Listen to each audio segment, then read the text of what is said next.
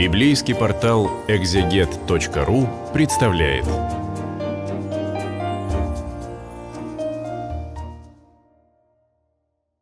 Здравствуйте! Это видео для библейского портала экзегет.ру. Мы продолжим разговор о книге пророка Иеремии и поговорим сейчас о третьей главе. В самом начале третьей главы, э, по-видимому, продолжается та проповедь, которая э, была помещена во вторую главу, поэтому э, в отрыве от нее достаточно сложно понять этот текст. Там, во второй главе, Бог обличал народ Божий за предательство, которое выражается в том, что руки по локоть в крови, и они поклоняются чужим богам. И это прелюбодейство, это предательство, это блуд э, со стороны народа Божьего, потому что в той второй главе отношения людей с Богом уподобляются отношениям брачным. И вот э, в третьей главе с первого стиха, продолжаю эту мысль, э, Господь говорит через пророка, «Если муж отпустит жену свою и она сделается женой другого, не, не может возвратиться к нему, потому что это, этим осквернилась бы страна та.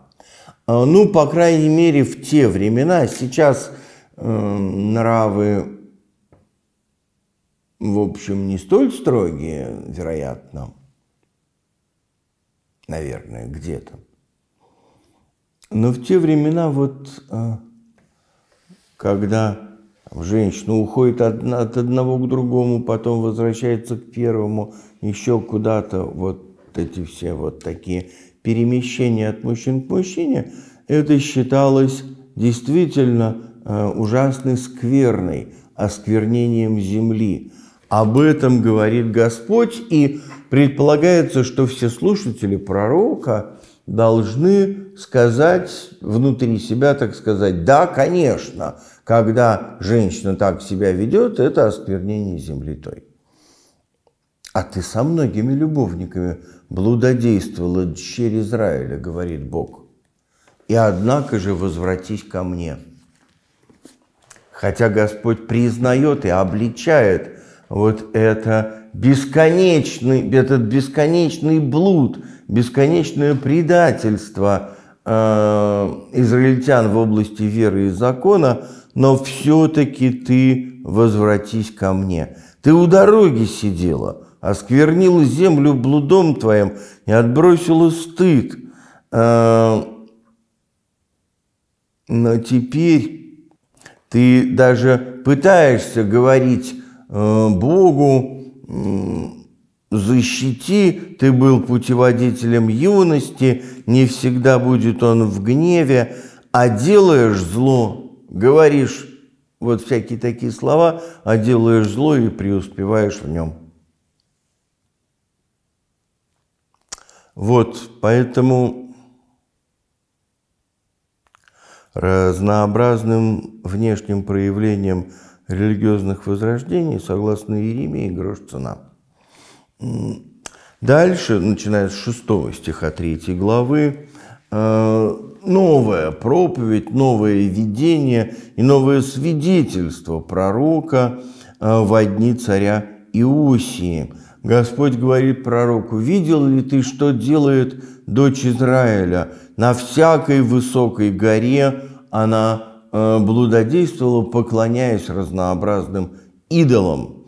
И я говорил ей, возвратись ко мне, э, посмотри, говорил Бог Израилю, дщерям Израилевым. А Иудея, которая была в этот момент чуть в стороне, могла объективно посмотреть на происходящее. То же самое, один к одному. Никто не учится на чужих ошибках. Собственно, вот смысл этого пассажа. Иудея не убоялась, а пошла и сама блудодействовала – обратилась ко мне всем сердцем своим, но только притворно. Оказывается, вот как бывает. Оказывается, мы можем притворно обратиться к Богу, а Бог видит сердце. И он этой лжи, этому притворству не доверяет, потому что видит правду. Это чрезвычайно важно на самом деле помнить.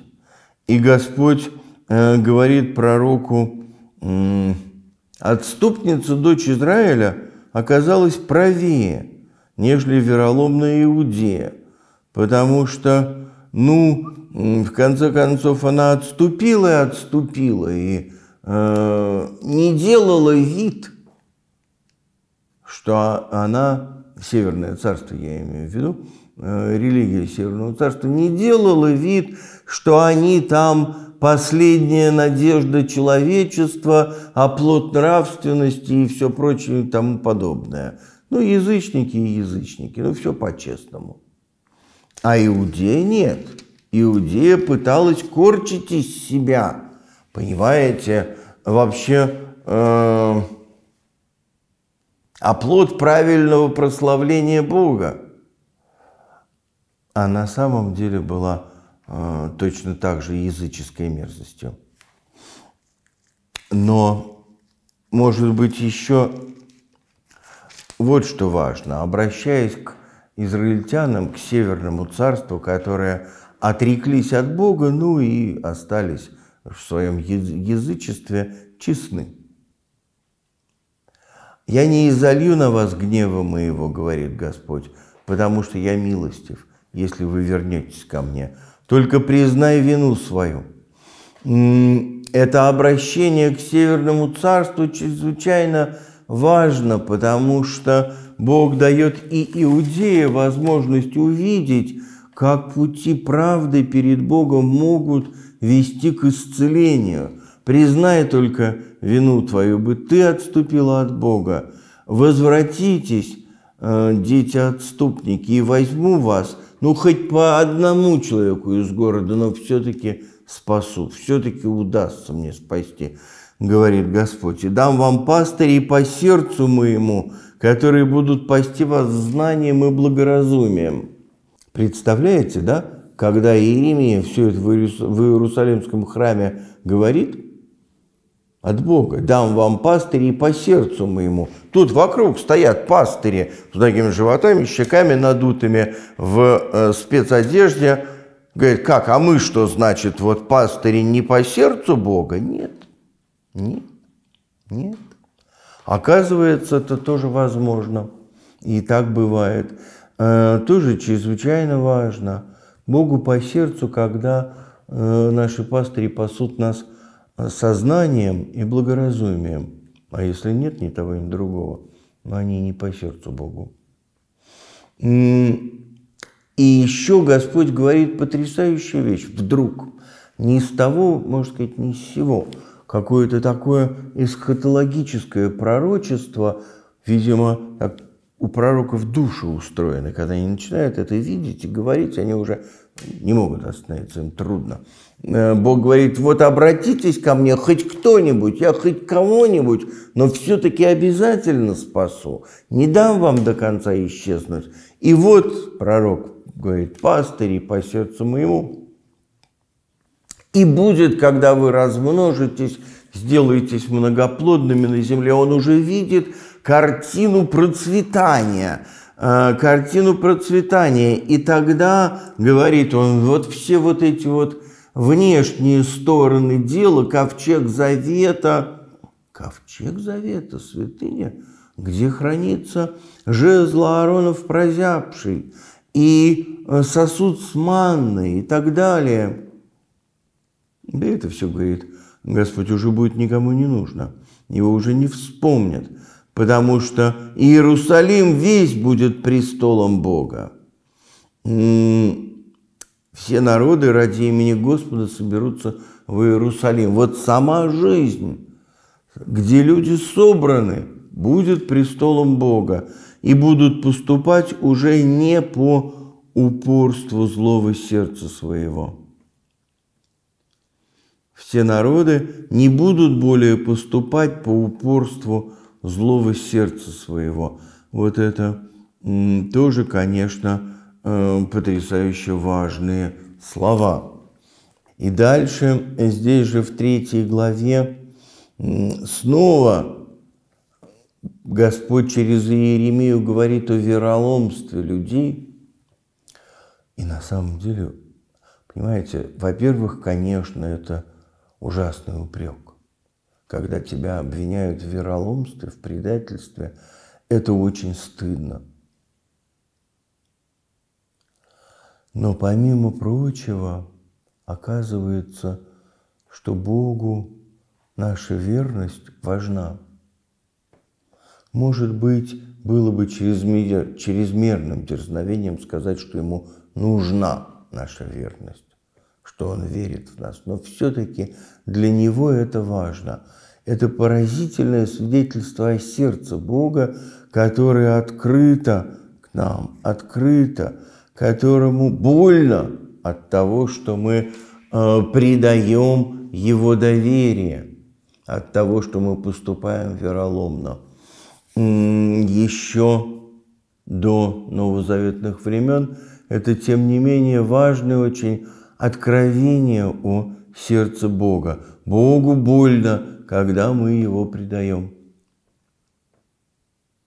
А мы думаем, что он сердится, возмущается, топает ногами, понимаете, а, ругается нехорошими словами, а Богу больно.